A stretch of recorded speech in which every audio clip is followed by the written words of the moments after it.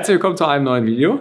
Weiter geht's, Teil 2 bei der Firma CAE in Essen. Solltet ihr den ersten Teil verpasst haben, müsst ihr hier auf jeden Fall auf die Infokarte einmal klicken, weil es war höchstgradig interessant und wir haben wirklich jede Menge zum Thema Shifter gelernt. Aber Christian ist natürlich auch wieder mit am Start. Jetzt geht's richtig ins Eingemachte, weil in diesem Teil, fällt mir gerade ein, das haben wir im letzten Teil ganz vergessen zu sagen, natürlich gucken wir jetzt auch noch ein bisschen eure Produktion an, hoffentlich, wenn wir dürfen. Ja, gerne. Fertigung.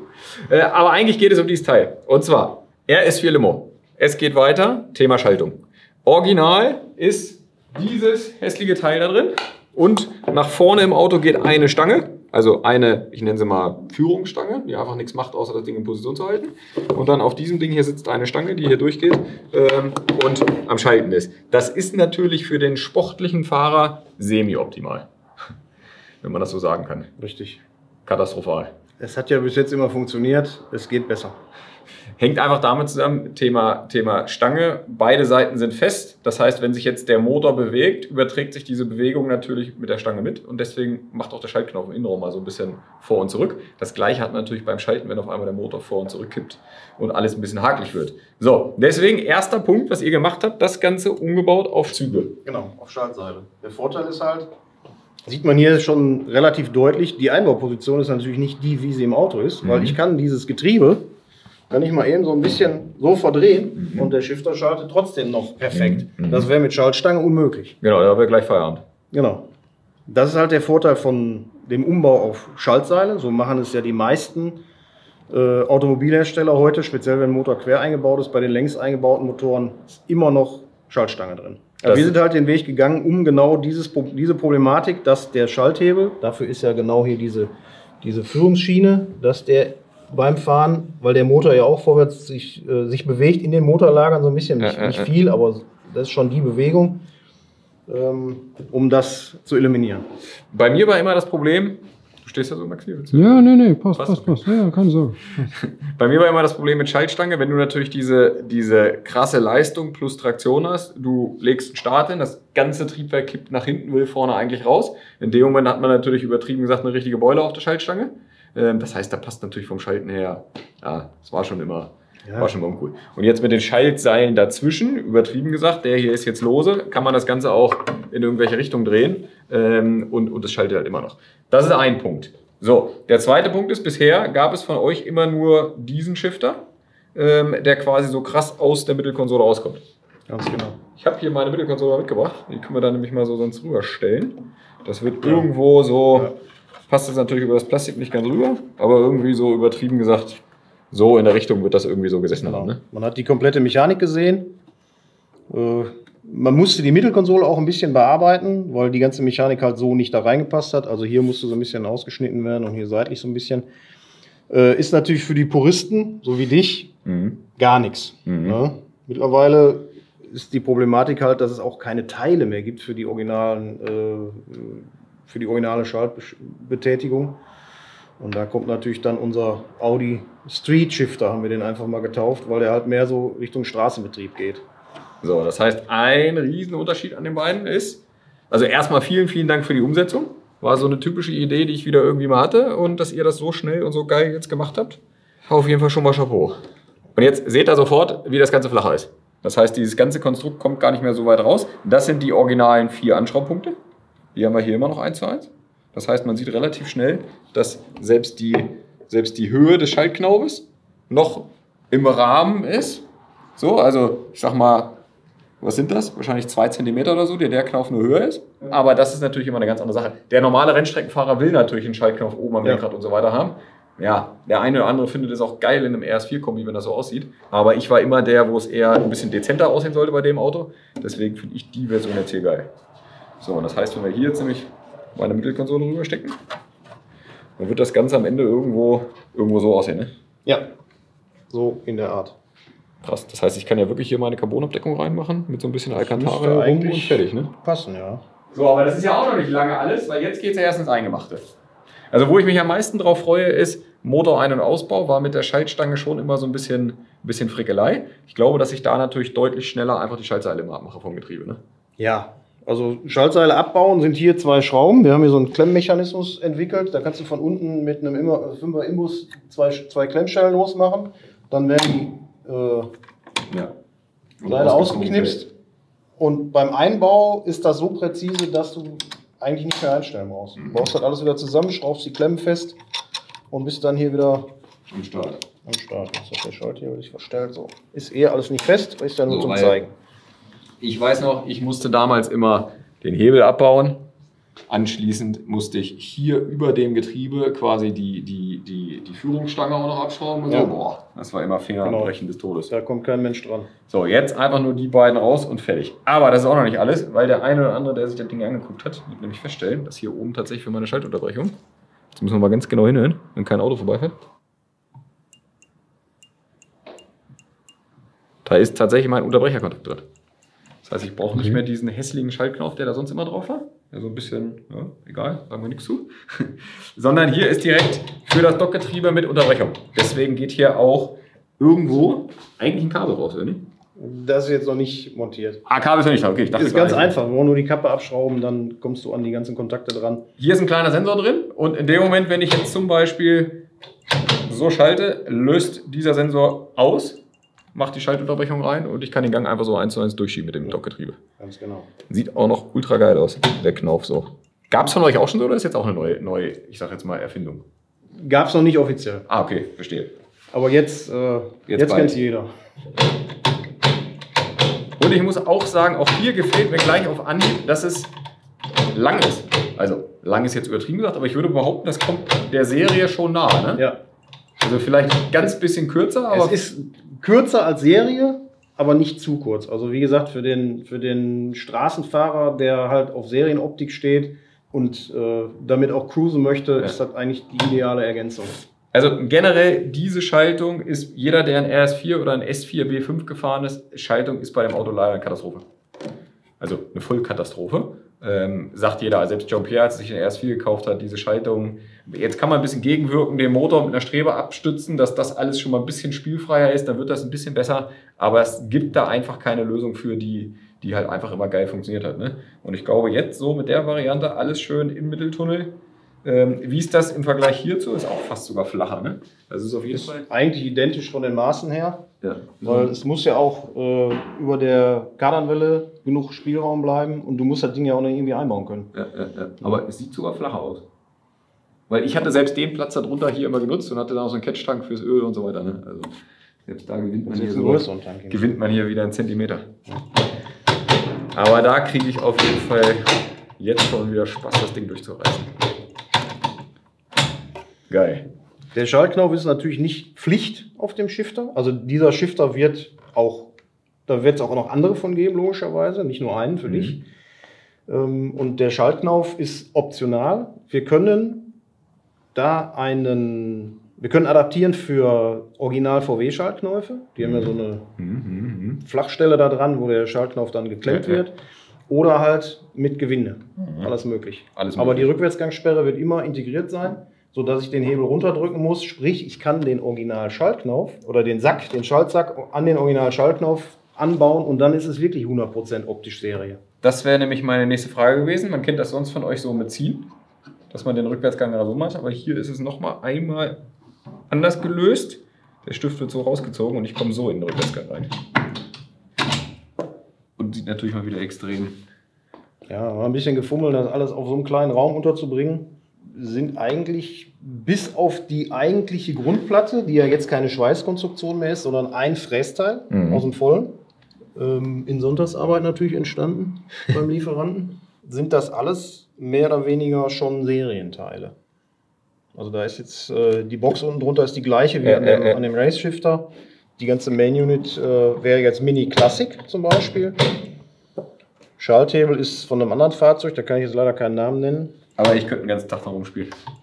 Wie gesagt, ich sehe drei für den Schreibtisch. Ja, vor allem, wenn ich mir so vorstelle, wenn ich im Auto schon wieder sitze. Vor allem in dem Fall ist es ja wirklich so, kein Kuppel mehr, gar nicht mehr vom Gas gehen, sondern wirklich nur genau diese Bewegung. Unter Volllast mit 1000 PS. Und ich mag es auch, dass man so diese doppelte Bewegung hat. Beim Originalschalter, ähm, beim Originalshifter ist ja eher immer so, man muss dann so in einem Stück durchdrücken. Und hier hat man ja so Gang raus, Gang rein. Ja. Und dafür, genau dafür sind diese Tilgergewichte, äh, wo wir schon mal drüber gesprochen hatten, dass die halt den Gang mit Schwung einlegen. Das fällt hier ja komplett weg. Voll geil. Eine Frage jetzt für die Zuschauer. Wenn ich das Ding jetzt bekomme, auspacke und einbaue, was muss ich einstellen und wie? In der Kurzform. Alles. ähm, Das heißt, die Mittelstellung wird ja so schon passen. Da mache ich nichts dran. Ne? ja, wir liefern ja Einbahnleitungen mit Fotos, äh, die immer umfangreicher werden, weil natürlich für uns jede Rückfrage auch ein Grund ist, eine Einbahnleitung äh, nochmal zu erweitern. Grundsätzlich ist alles beschrieben Mhm. mit Fotos. Und ich sag mal, für einen versierten Handwerker ähm, ist das auch alles machbar. Ja, wir sind immer mit Rat und Tat äh, am Telefon. Ähm, auch fünfmal, sechsmal, das ist alles kein Thema. Also hat noch kein Kunde aufgegeben und ist nicht mehr mit dem Auto gefahren. Aber es geht eigentlich beim Einstellen nur um die Anschläge oder was stellt man noch alles ein? Ähm, bei einem Seilschifter, wir haben ja keine äh, Plug-and-Play-Seile, die eingeklinkt und festgesteckt werden, wo alle Maße fest sind. Du Mhm. kannst äh, sowohl hier bei den anderen VW-Shiftern, wie da nebenan zum Beispiel, kannst du auf der anderen Seite auch noch die Länge einstellen von den Hüllen, Mhm. von der Außenhülle. Und dann kannst du natürlich, wenn du an dem Wählseil die, die Kugelpfanne um zwei Umdrehungen verstellst, kriegst du keinen Gang mehr rein. Ja, also hier funktioniert jetzt so gerade noch die Mittellage, aber die anderen Gänge, ja, wisst ihr, das ist jetzt der Vorführeffekt. Hier- wird schon spannend. Ja, da kriegst ja, du ja. schon keinen Gang mehr rein. Ja, weil es muss halt mit dem Getriebe synchronisiert werden und da muss man sich halt ein bisschen Zeit für nehmen. Das heißt, wie macht man das? Weil ich, ich würde jetzt auch gerade überlegen, also äh, spür, stellt man das ein und spürt man das beim Schalten oder kann man das sagen, in die und die Stellung bringen, so und so einstellen? Genauso. Okay. Ähm, wir gehen immer so vor, wir haben so Vorgaben, wie die Seile montiert werden sollten. Da gibt es ja auch Fotos, dass die Kunden das so einstellen, wie das bei uns auf den Fotos abgebildet ist. Zum Beispiel hier sieht man keinen Gewindegang, hier sieht man keinen Gewindegang. Da gibt es also spezielle Fotos für, dass das so eingestellt wird. Mhm.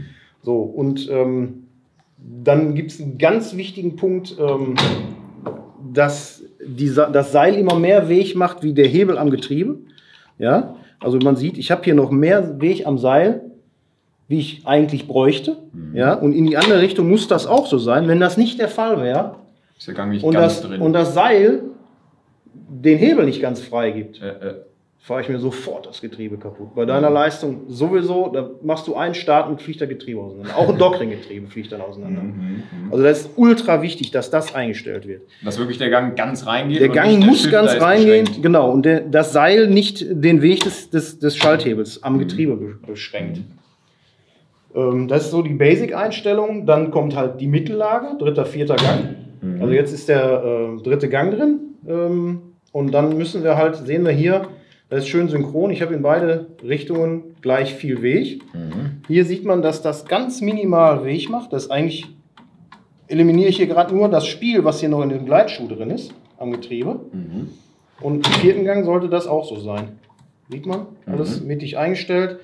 So, und dann sollte der Hebel bei einem solchen Getriebe, Rückwärtsgang links, vier Ebenen, Mhm. sollte der Hebel ganz leicht nach rechts stehen, also zu mir geneigt. Mhm. Weil die Ebene dritter, vierter Gang Ja, ja. ist nicht die Mitte des Schaltschemas. Mhm. Verstehe, weil der Ja, also Rückwärtsgang Mitte- noch dazu kommt. Genau, Mitte Schaltschema wäre jetzt genau zwischen äh, dritte, ähm, zwischen 1 und 2. Äh, Mhm. zwischen 1 und 3, so. Wäre Mitte Schaltschema. So, und da, da das nicht der Fall ist, sieht man auch von hinten, wenn man da Ja, drauf ja, guckt, das ist ganz leicht. dass der nach rechts geneigt ist. Dann habe ich, erreiche ich alle Gänge.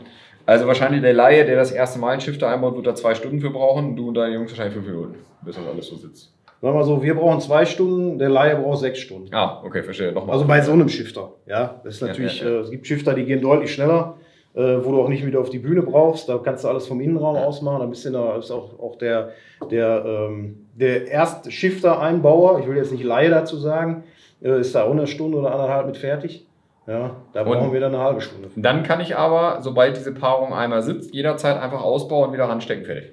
Ja, wie ich gerade gezeigt habe. Die Ja. beiden Schrauben los, jetzt bei dem, speziell bei dem Getriebe. Ne? Ja, die ja. beiden Schrauben los, die ist natürlich extra so konstruiert, dass man von unten dran kommt. Wäre schlau, wenn das von oben zu machen gä- wäre. Ja, Ja, aber da sind also so Features, die bei uns eigentlich Standard sind. Man muss ja auch irgendwann nochmal dran. Nutzerfreundlich, ja. Ja, ähm, an, an den Shifter eigentlich nicht, ans Getriebe schon eher. Diese ganze Mechanik, die gibt es sonst so auch nicht, weil normalerweise ist quasi diese Schaltstange, geht nur auf den Hebel hier und macht darüber links, rechts, vor und zurück. Und diese ganze Umlenkung, so, das haben die Jungs sich auch alles hier selber überlegt. Das ist schon. Gibt es nur für die Audi-Getriebe drei Versionen. Fünfgang, Sechsgang wahrscheinlich? Die Getriebegehäuse. Es geht immer um diesen Nocken hier, wo jetzt dieser Drehhebel okay. drauf sitzt. Ja, ja, ja. Da gibt es drei Versionen. Es gibt den hohen Nocken, das ist jetzt hier die Version. Mhm. Dann gibt es diese Version oder dieses Getriebe nochmal mit einem, mit einem 10 oder 12 mm flacheren Nocken mit M10-Gewinde drin. Mhm. Und du wirst wahrscheinlich die Version FDP haben. Ähm, Also der Getriebekennbuchstabe FDP ähm, und ähnliche, da fehlt dieser Nocken ganz. Beziehungsweise der Nocken ist zwar da, aber da ist kein Gewinde drin. Und dann muss hier so ein Geweih draufgebaut werden, wo dann dieser Hebel sich abstützt. Gibt es aber alles bei uns ab Lager Boah. lieferbar. Ja, ich bin wirklich nicht neidisch drum, was in deinem Kopf so vorgehen muss mit den ganzen Modellen. Weil das ist jetzt ja nur wieder. Wie viele verschiedene Shifter habt ihr so? Ich müsste 100, 200? Ja, über 100 auf jeden Fall. Nee, aber Aber da ist definitiv ein Teil so, die Leute fragen, wo, wo freue ich mich am meisten drauf bei dem Auto, weil ja schon vieles anders ist. Aber das wird auf jeden Fall so eine Sache sein, weiß ich schon, weil Thema Schaltung war immer so eine Sache, geht der Gang rein, geht da nicht rein. Ähm, dann gibt es ja diese Version, es gab ja einen Phaeton als Schalter, da gab es Mhm. tatsächlich für dieses Getriebe auch mit Schaltseilen was. Diese Autos, da gab es aber gefühlt drei Stück von in, in ganz Europa. Das heißt, die Teile davon kriegt man auch so gar nicht ran. Das ist auch so eine riesen Einheit, die dann hier so oben drauf kommt.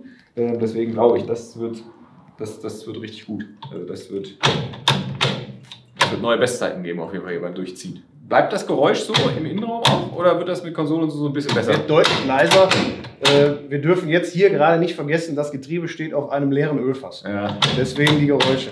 Hier haben wir eine Version, die geht direkt aufs Getriebe. Genau, das ist ein Mazda-Getriebe. Mazda ND, aktuelles Fahrzeug eigentlich soweit.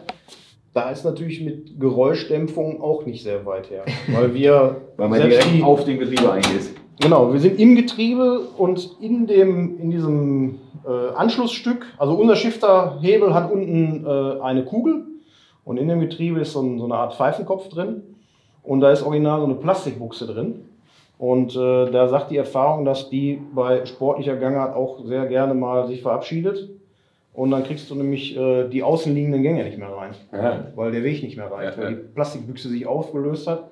Deswegen haben wir ja die ganze Geschichte ohne diese Kunststoffbüchse konstruiert, die Kugel dementsprechend angepasst in diesen Pfeifenkopf. Und da ist natürlich gar keine Geräuschdämpfung.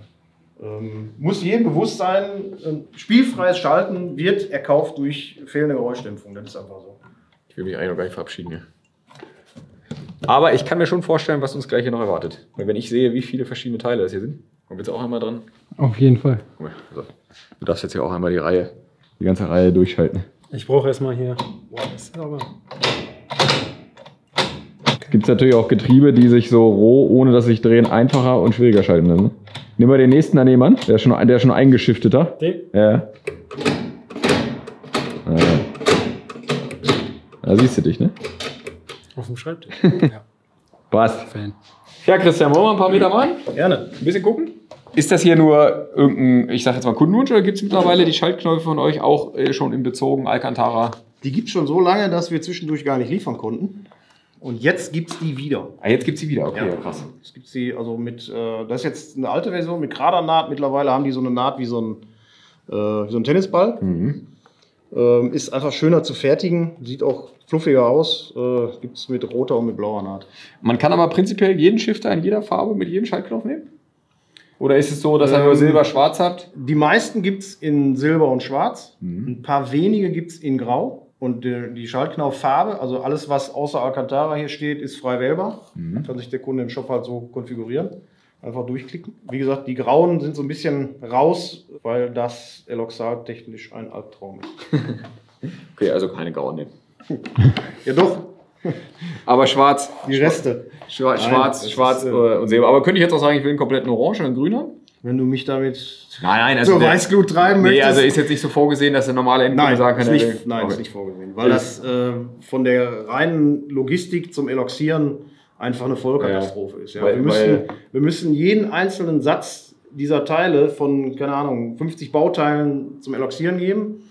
Und wenn davon ein Teil beim Eloxieren kaputt geht, fängst du von vorne an. Mhm. Ja, also wir geben dann ein Teil zum Eloxieren. Wenn der Ja, Kunde ja. jetzt sagt, ich hätte gern in, in lila den ganzen Shifter, haben wir nicht am Lager, lassen wir eigentlich auch ursprünglich nur eloxieren, wenn wir wirklich mal eine Serie Schaltknöpfe eloxieren Ja, lassen. ja. Und ich kann nicht ein Teil zum Eloxieren Ja, ja. geben in einer Farbe. Das funktioniert nicht. Okay. Deswegen, Schwarz Schwarz, hat sich ja. eigentlich durchgesetzt, ist super Ist pflegeleicht. Schwarz ist auch Ja, einfach. ich find klassisch. Auch, ich finde schwarz geht immer. Ich hätte hier noch eine Kleinigkeit. Kommt dir bestimmt bekannt vor, wenn du da reinguckst. Da sind eure Schaltknöpfe drin, ne? Das ist, so werden unsere Schaltknöpfe verpackt. Das heißt, die kommen immer so? Die kommen nicht zusammengebaut auf Schiff? Nein, die kommen nicht zusammengebaut, weil die Gefahr, dass das verkratzt wird, einfach viel zu groß ist. Ich habe schon auf dem Abarth einen Orange drauf von euch. Ja, Aber natürlich ohne das S. das sollst du natürlich jetzt tauschen. Das ist gelasert, ja, ne? Ja. Wir haben eine Rundachse auf unserem Laser, da können wir auch Rundteile mit lasern. Durch den Laser. Geil. Kommen wieder ein paar Details in den Raum. Vielen Dank, sehr schön. Wenn wir schon mal hier sind. Das sieht schon extrem technischsprachig aus. Und, egal welches Teil man sich anguckt, darf ich die, Alu, die Aluteile so anfassen? Muss man ja mal fragen. Oder? Ja. Aber, aber nur das Ja, eine. Ganz, ganz schwere Herzen. Ja, das war Aluteile fast vorsichtig an. Das ist halt für mich auch nicht einfach nur so, wir bauen ein Teil, sondern irgendwie so an der ganzen Formgebung, äh, diese ganzen Rundungen, die ganzen Radien, die ganzen Phasen, steckt da irgendwie in jedem Teil irgendwie immer Liebe drin. Weißt du, weil man könnte es ja mit Sicherheit auch deutlich einfacher bauen. Ja, natürlich. So. Klar. Das geht schon los, äh, das halt nicht aus Alu zu machen. Ähm, aber das bei uns haben wir nie gemacht. Wie gesagt, äh, haben wir vorhin noch drüber gesprochen. Aluminiumschweißen ging damals, damit ging es eigentlich los. Ja. Ähm, und äh, da sind wir mal beigeblieben. Weil, weil guckt euch das mal an, selbst hier drin, wirklich, es gibt keine unbearbeitete Kante, ne? Nein. Ist an jeder Kante nochmal einmal wieder eine Phase dran. Dann auch, wie schön das Ganze am Ende noch gebürstet ist. Ich will nicht Sag- wissen, was, was, wenn man schon so detailverliebt ist, wie es bei euch mit Ausschuss und so weiter ist. Wie oft da mal irgendwie der Schweißer mal kurz irgendwie. Beim wir so gut wie gar keinen Ausschuss. Mhm. Ähm, Aluminium ist relativ dankbar beim Nacharbeiten. Also wenn wirklich mal eine Macke drin ist und das noch nicht eloxiert ist, kann man so ein Teil Schleifen. nacharbeiten. Also wenn da wirklich wenn hier so eine Kitsche drin ist und du schweißt da einen Punkt drauf, schleifst das nach, geht. Haben wir aber so gut wie gar nicht. Aber das heißt, selbst wenn hier jetzt eine Macke drin wäre, wäre es für euch schon Ausschuss eigentlich? Also, Ja. Selbst dicke Kratzer. Ausschuss geht direkt ich weiß, warum ihr nichts anfassen darf. Du hast Glück, dass das noch nachbearbeitet wird. ja, so sehen die Teile halt aus, wenn sie vom Schweißen kommen. Ja. Selbst das ist ja nicht hässlich. Ne? Nur hier hast du halt beim Schweißen hast du immer so ein bisschen Zunderbildung. Ja, so, so, so roh geschweißte Teile finde ich persönlich auch immer geil. Aber das würde auch mit der Zeit anlaufen, glaube ich, ne? wenn die Leute immer so, so drauf packen und so. Ja, solange wie Aluminium nicht eloxiert ist, wird es immer anlaufen. Mhm. Also speziell Schweißfinger. Wenn du so ein, so ein Blechteil am Ende der Saison einmal mit dem Schweißfinger angefasst hast, aus Versehen oder Mhm. absichtlich, stellst das Auto über den Winter in die Garage, hast du am nächsten äh, äh, so einen CSI-Fingerabdruck, Ja, ja. äh, hast du im nächsten Frühjahr da drauf. Den kriegst du ohne mechanische Bearbeitung nicht mehr weg. Das heißt, ähm, sowas bekommt ihr schon geschweißt, also es wird woanders geschweißt. Nein, die schweißen wir hier. Schweißig, okay. Ja. Also, also zu 99,9% wird alles hier im Haus geschweißt. Ja, und es ist halt wirklich jedes Teil wieder komplett anders vom Aufbau. Ne? Ja. ja, hier ist unsere komplette mechanische Bearbeitung, wenn man so will. Also wir machen die ganze CNC-Zerspannung nicht selber. Ja, also Konstruktion, Entwicklung, CAD-Daten, Vorbereitung und dann geht es zum Lieferanten. Beim Lieferanten dann halt die entsprechenden äh, äh, Sitzungen für jedes Bauteil. Setze dich im Endeffekt mit so einem Lieferanten zwischen einer Stunde und einem ganzen Tag zusammen oder auch mal ein ganzes Wochenende. Wie zum Beispiel so eine Basis für so einen Audi Street Shifter. Dauert dann auch schon mal länger. Ist immer den ganzen Sonntag beim Lieferanten. Ja, und äh, dann kommen die Teile halt in den entsprechenden Stückzahlen, so wie wir Ja, die ja. brauchen. Und wenn mal was nachgearbeitet werden muss, dann wird das hier gemacht. Genau, dafür haben wir eigentlich die Maschinen, Ja, ja. kleine Fräsmaschine, zwei Drehmaschinen. Ist äh, glücklicherweise nicht allzu viel. Mhm. Ist in den meisten Fällen eigentlich Prototypenbau, wo wir mal selber sparen. gut, wenn man das im Haus machen kann, ist das schon immer die halbe Miete. Ja, also Prototypenbau machen wir ja komplett selber. Von der ersten Skizze, wir können gleich mal drüben gucken. Ich habe da gerade so ein lustiges Pro Projekt liegen für einen Steierpuch. Mhm. Ja, ist äh, irrwitzig, Aufwand äh, zu betreiben, um das Ding zum Schalten zu kriegen. Aber wenn es funktioniert, macht es ja Spaß. Alles gut. Zeig mal her. Mal angucken. Genau. Das ist echt so eine Schaltstange. Ja, das ist jetzt Steierpuch, ganz witzig. Ähm, mit hier mit äh, hochbelastbaren Schaltgelenken. also das ist schon wirklich, das sieht aus wie aus der Puppenstube. Ja, ganz ja. witzig eigentlich. Aber ähm, ist halt die ganze Vorbereitung, Maße nehmen, Übersetzungsverhältnisse berechnen, äh, erstmal am Auto Fotos gemacht, äh, hier Drehwinkel, Schaltstange und so weiter. Und danach kommt dann ähm, halt die Konstruktion, das an die Gegebenheiten des Fahrzeugs anzupassen. Und das war original, steckte das auch einfach so drin und so? Genau. Und wie sieht, Ohne jetzt, Plastikbüchse. wie, sieht, wie sieht eure Version jetzt aus? Die gibt es noch nicht. Die Da ist im Moment achso. äh, ist das bisher alles noch in nur- der Planungsphase. nur. Aber wie man hier sieht, wir können hier, wir nehmen einfach irgendwelche Teile erstmal aus dem Regal ja, ähm, und gucken dann, was dafür verwendbar ist. Äh, mittlerweile haben wir so ein breites Spektrum an, an Einzelteilen, dass wir nicht mehr allzu viele Teile anpassen müssen. Bei dem ist auf jeden Fall klar, der braucht eine eigene Bodenplatte. Ähm, aber die, die eigentlichen, ich sag mal, Schalthebelteile und äh, Main Units und so weiter, das ist alles schon, Mhm, alles schon fertig. Das heißt, ihr messt dann wirklich aus die Schaltwege, die Winkel. Ja, das, das ist die Basis. Also wenn ich nicht, nicht die Maße vom Fahrzeug nehme, Drehwinkel, Schaltstangenbewegungen mir vorher zurechtlege und dann mal einen Taschenrechner in die Hand nehme, weil das ist eigentlich die Basis für, für jede weitere Mhm. äh, Übersetzungsverhältnisberechnung. Ja, Also die Berechnung des Übersetzungsverhältnisses. Das brauche ich nicht anfangen. Ne? Brauche nicht Mhm. einfach irgendwie einen Hebel da reinstecken und das wird dann schon irgendwie schalten. Ja, Dann mache ich keinen mit glücklich. Die, du sagst Übersetzungsverhältnis, das ist das Verhältnis zwischen, ähm, also zwischen eigentlich Betätigung im Innenraum und Betätigung am Getriebe. Genau, jetzt guck mal hier, ist ganz relativ simpel. Hier sitzt der Schalthebel drauf. Die macht einmal die Drehbewegung für die, fürs Wählen, also die Gassen zu wählen. Guck, geht natürlich nach hinten beim Bruch, ne? ist ja klar. Für alle, die es nicht wissen. Ja. Ne? Fiat 500 Basis mit Boxermotor. Die Schaltstange, die Schaltbewegung geht halt geradlinig vorwärts, rückwärts. Und die Kombination daraus, du hast hier einen, einen gewissen Weg, den die Schaltstange macht. Der ist jetzt bei dem Auto extrem klein, weil da auch nur so ein Spielzeuggetriebe drin ist. Und eine Drehbewegung, die ja, die Kugel macht ja auch einen Weg, rechts, links. Ja, ja. Und in dem Moment hast du zwei Wege, X und Y. Mhm. So, hier ist das Problem, dass der extrem viel Schwenkwinkel macht, Mhm. aber nur ganz wenig Schaltweg. Mhm. Und das dann wieder so umzusetzen, dass du oben wieder deine 70 x 70 mm an dem Schalthebel hast, der ja dann auch Mhm. äh, noch festzulegen ist, eine zu festzulegende Höhe hat. Da muss man einfach nur einen Taschenrechner für nehmen, die richtigen Zahlen eingeben und schon hast du das Ergebnis. Klingt einfach. okay, das heißt, wo geht's weiter? Da oder da? Wir gehen da lang. Da? Wir gehen mal in die Montage. So, das ist jetzt Montage hier. Ja, hier ist Montage für Einzelkomponenten und auch dann die fertigen Shifter. Hat so ein bisschen was von labormäßig irgendwie, finde ich. Hat noch nie anders ausgesehen. Nee, weil das alles so ganz genau alles in, in Schälchen. Ja, auch wenn die Teile sehr, sehr ähnlich aussehen, aber du musst schon die Disziplin haben, dann alle Sorten rein äh, äh, zu lagern. Ja, weil sonst verlierst du absolut den Überblick. Also ich muss ganz ehrlich sagen, ich selber hier in, in, der, in der Montage, äh, ich muss mich auch durchfragen mittlerweile. Keine Chance. Ja, weil dafür gibt es einfach zu viele Einzelteile. Ja, krass. Und, Und die äh, sind alle, alle, alle voll mit die schwarze Schublade und hier geht es weiter mit Grau. Alles Einzelteile und Farben, ja. Das ist das, was ich vorhin meinte, die Vielfalt an Teilen, die man doch in Summe dann so braucht. Ne? Ja, ich äh, kann dir jetzt die Stückzahl selber aus dem Kopf, keine Ahnung, aber es sind schon einige tausend. Und die Jungs hier, die machen wirklich den ganzen Tag dann nur Montage? Ja. Oder wird das irgendwie auch, auch dass die gleichzeitig auch mal zersparen, irgendwie äh, Entwicklung machen oder so, oder wirklich rein nur Fertigung? Nö, hat jeder eigentlich seine, seine Aufgabengebiete.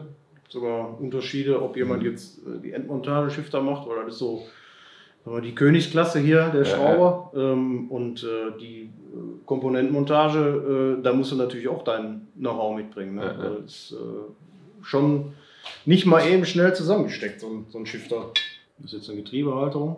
Auch wieder mit so Klemmteilen für die Mhm, Schaltseile. Schaltseile, ja. Da fehlen natürlich noch die ganzen Umlenkteile dran. Und selbst das ist jetzt ja wieder nur eins von diesen ganzen Teilen, aber selbst dieses eine Teil besteht ja schon wieder aus 1, 2, 3, 4, ja, auch schon wieder aus etlichen Einzelteilen. Ja. Und da kommen nochmal die doppelte Anzahl an Teilen dran, bis nur diese Getriebeumlenkung am Lager liegt und in, in der EDV gebucht ist. Dieses Teil einfach komplett aus dem Vollen zu fräsen, macht keinen Sinn. Ist noch Äh, es gab mal Zeiten, wo das Sinn gemacht hätte. Äh, mittlerweile bei den Materialpreisen keine Chance. Weil Mhm. der Klotz ist ja doppelt so groß an Volumen wie das, was jetzt davon überbleibt. Ja, ja, mindestens, ja. Ähm, und dafür haben wir die Stückzahlen bei dem Produkt jetzt auch nicht. Es gibt andere, da sind wir gerade in Verhandlungen, äh, dass wir wirklich so ein Gehäuse mal aus dem Vollen fräsen. Und da muss ich mich aber noch so zwei, drei Sonntage mit dem Lieferanten zusammensetzen.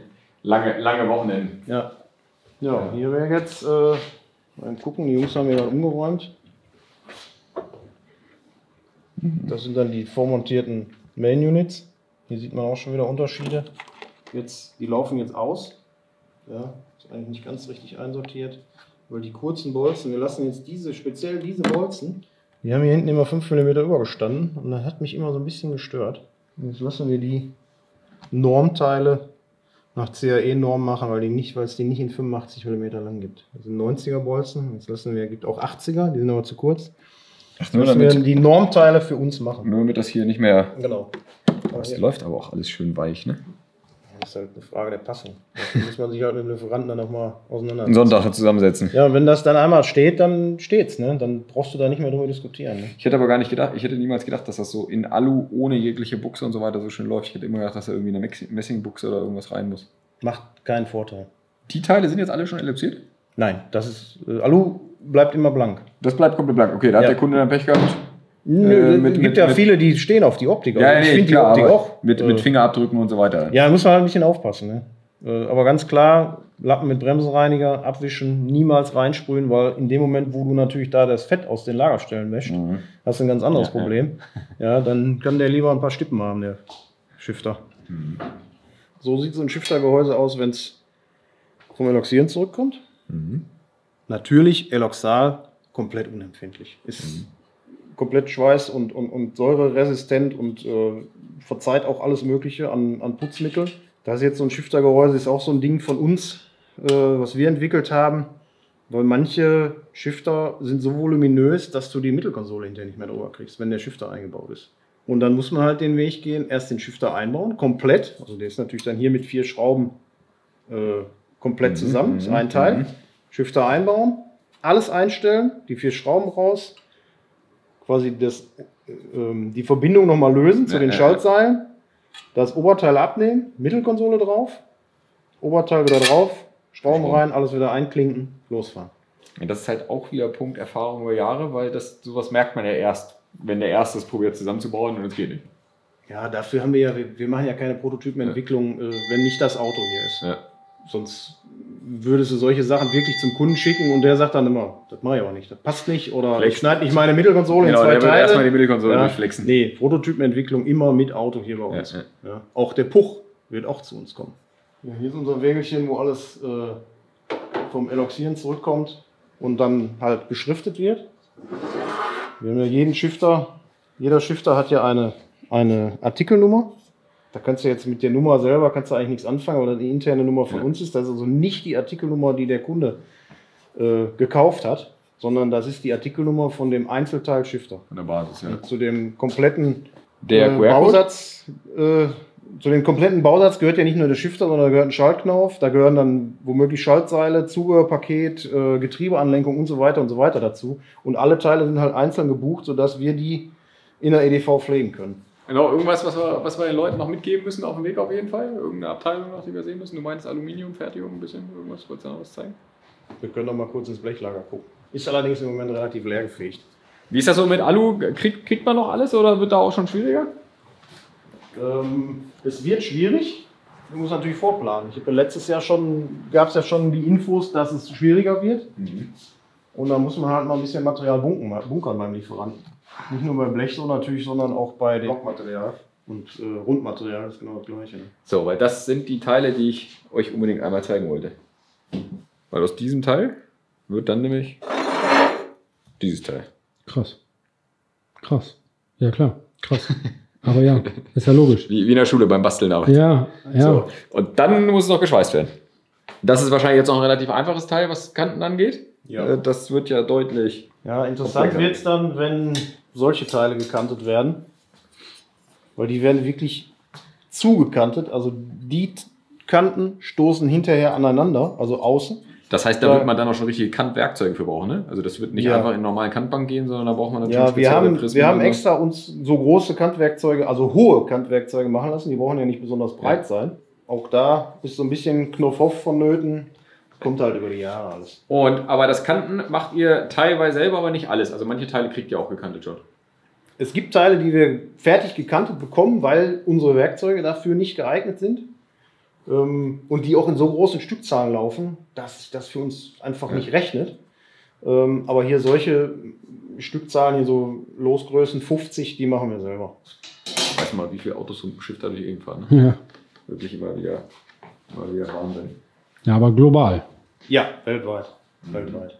Das ist unsere Kantbank. Da ist allerdings im Moment ein Nietwerkzeug drauf. Krass. Ähm, So, sieht jetzt nicht so aus wie die Kantbänke, die ich so kenne. Nö, ist halt die Miniaturausführung, ist aber halt auch CNC gesteuert. Ähm, aber wir machen eigentlich alles auf der Maschine. Wir prägen Schriftzüge, wir vernieten, ähm, Weil wir formen um. Also biegen ist das eine, umformen, dann richtig ins Gesenk ist das andere. Weil es ist schon so, wie ich mir das jetzt vorstelle, dass man, dass, dass das nichts mit einer normalen Kantbank zu tun hat, sondern schon alles irgendwie um ein Werkzeug rumgekantet wird. Also das stelle ich Ja. mir das extrem schwierig vor, das Genau. Ding überhaupt zu kanten. So ein Werkzeug sieht dann auch mal so aus. Genau, okay, verstehe. Ja. So, ja, und wenn ich mir jetzt überlege, guck mal, ihr habt über 100 Shifter, alleine wie viele Werkzeuge ihr lagern müsstet, für, für, wenn ihr das alles selber kannte, ne? Wobei das ist schon ein sehr, sehr gutes Universalwerkzeug. Ähm, nur Werkzeuglogistik ist schon. schon muss schon aber gibt es ja Spezialfirmen für. Ne? Ja. Ich äh, schickst ja äh, im Endeffekt das zu kannende Teil hin und sagst, so und so muss das aussehen mit Ja. CAD-Daten. Und dann kriegst du ein fertiges Werkzeug Ja. wieder, was, was so funktioniert. Ne? Haben wir hierzu das Blech gerade, was da dann drum rumkommt? Ich hol mal eins.